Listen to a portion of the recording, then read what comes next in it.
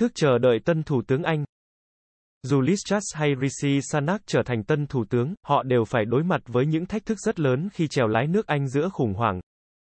Chiếc xe tải chuyển đồ cho Thủ tướng Boris Johnson đã rời khỏi số 10 phố Downing. Trong hôm nay, tên chủ nhân mới của dinh thự này, Thủ tướng thứ ba của Anh trong 6 năm, sẽ được Đảng Bảo thủ cầm quyền công bố.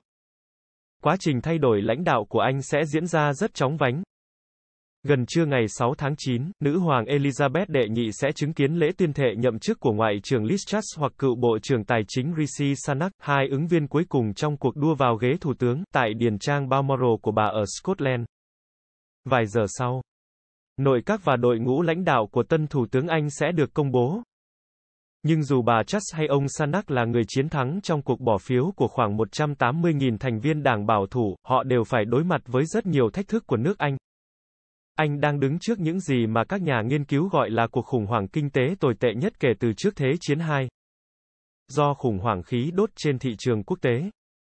Hóa đơn năng lượng của các hộ gia đình Anh đã tăng gấp đôi kể từ mùa xuân và có thể tăng gấp 3 vào đầu năm 2023. Một số nhà nghiên cứu cho rằng có tới 1,7 triệu hộ gia đình Anh có thể không thanh toán nổi hóa đơn điện, khí đốt sau đợt tăng giá tiếp theo vào tháng 10, dự kiến ở mức 80%. Người Anh đang chứng kiến chi phí tăng vọt vì hóa đơn năng lượng và thực phẩm đều tăng. Elizabeth F. Hodage, thành viên đảng bảo thủ, nói. Tôi muốn lãnh đạo mới trung thực và minh bạch. F. Hodage và nhiều đảng viên bảo thủ khác cho rằng đây là những phẩm chất mà ông Johnson thiếu hụt trong quá trình nắm quyền. Ngoại trưởng Truss và cựu Bộ trưởng Tài chính Sunak đã dành cả mùa hè để chạy đua cho vị trí thủ tướng, trong loạt cuộc họp với các thành viên của đảng. Cuộc họp gần đây nhất là vào đầu tuần trước tại Wembley. Nhưng cả hai ứng viên đều không vạch ra được họ sẽ đề ra chính sách nào để vượt qua cuộc khủng hoảng. Tình hình hiện tại không tốt. Hy vọng giá năng lượng cao chỉ là vấn đề tạm thời, Christian Kurtzi, thành viên bảo thủ, nói. Tờ Tham hôm 2 tháng 9 đưa tin các doanh nghiệp bên bờ vực phá sản có thể được hưởng lợi nhờ hàng tỷ bảng Anh cắt giảm thuế nếu bà Truss thắng. Nhưng bản thân ứng viên này cũng không biết kế hoạch đó sẽ được thực thi thế nào.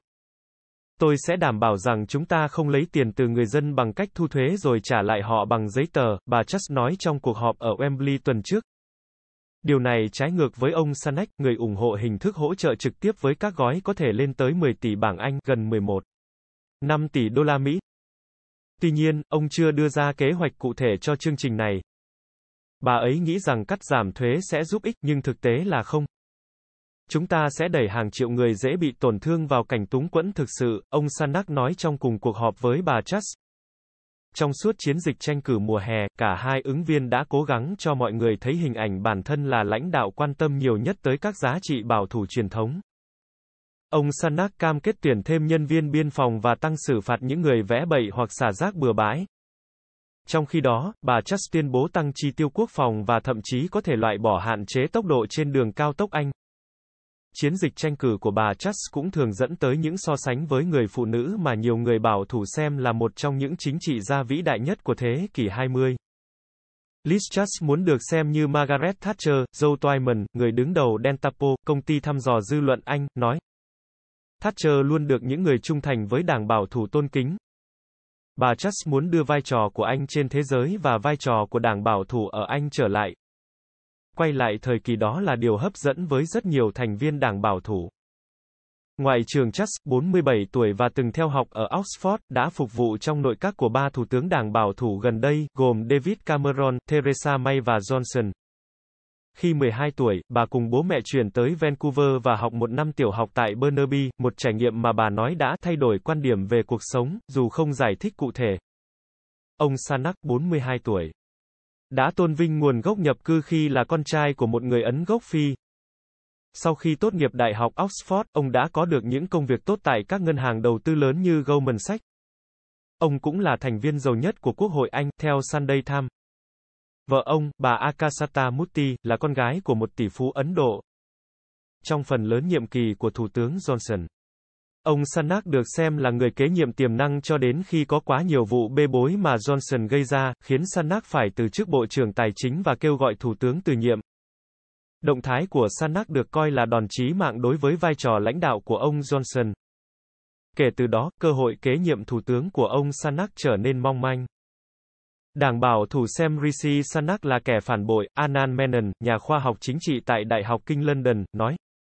Ông ấy đã chuẩn bị cho chiến dịch tranh cử nhiều tháng trước khi ông Johnson từ chức. Vì vậy tôi nghĩ điều đó đã làm giảm tỷ lệ ủng hộ dành cho ông ấy. Mục tiêu cuối cùng của Đảng Bảo thủ là lãnh đạo mới sẽ giành chiến thắng trong cuộc tổng tuyển cử. Dự kiến kết thúc trước tháng 1 năm 2025. Hiện tại, cơ hội Đảng Bảo thủ giành chiến thắng được cho là thấp hơn bất kỳ thời điểm nào khác trong suốt 12 năm cầm quyền của Đảng. Công đảng của Keir Starmer đã liên tục dẫn trước trong các cuộc thăm dò dư luận, khi họ cam kết hỗ trợ hóa đơn năng lượng của người dân, cũng như tạo ra sự khác biệt bằng cách đánh thuế các công ty năng lượng và người giàu. Nếu đà dẫn trước này không có dấu hiệu suy giảm sau vài tháng, lãnh đạo đảng bảo thủ và tân thủ tướng sẽ thực sự đối mặt với vấn đề nan giải, Twyman nói. Tân thủ tướng Anh cũng sẽ phải vật lộn để thoát khỏi cái bóng của Johnson, người vẫn nhận được sự ủng hộ lớn dù bị các thành viên trong chính quốc hội của ông quay lưng. Truyền thông Anh thậm chí không loại trừ khả năng ông Johnson sẽ trở lại nếu người kế nhiệm thất bại.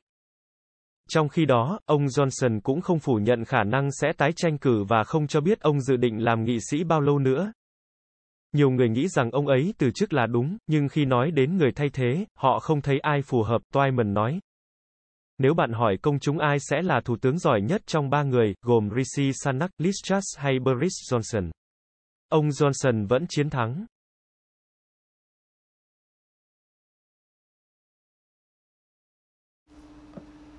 Anh công bố tân thủ tướng hôm nay.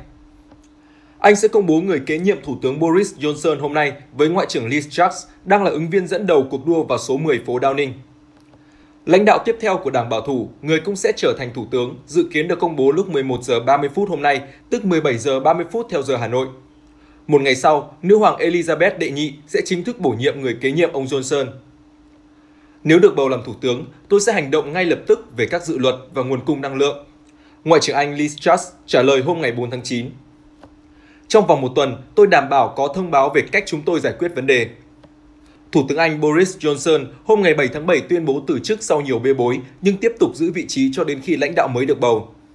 Cuộc đua giành vị trí lãnh đạo đảng bảo thủ đã kéo dài hơn 8 tuần với sự cạnh tranh giữa bà Truss và cựu Bộ trưởng Bộ Tài chính Rishi Sunak.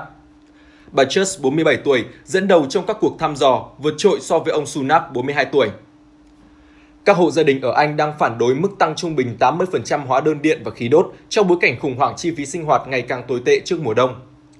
Chiến dịch của bà Truss cam kết cắt giảm thuế, nhưng các nhà phê bình lưu ý điều đó không mang lại lợi ích cho những người nghèo nhất.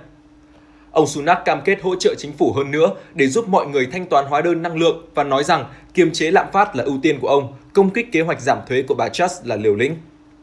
Tuy nhiên, ông Sunak dường như chấp nhận khả năng thất bại và đề nghị ủng hộ bà Truss nếu thua, tôi mong được hỗ trợ chính phủ bảo thủ trong bất kỳ khả năng nào.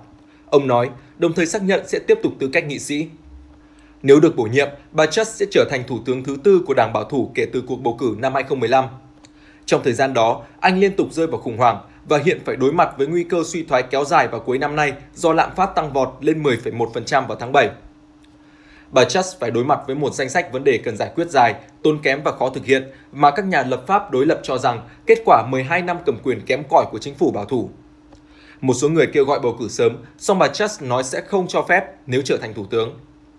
Nghị sĩ kỳ cựu của đảng bảo thủ David Davis mô tả những thách thức mà bà sẽ phải đảm nhiệm trên cương vị thủ tướng, có lẽ khó khăn thứ hai trong các thủ tướng thời hậu chiến, sau Margaret Thatcher của đảng bảo thủ vào năm 1979.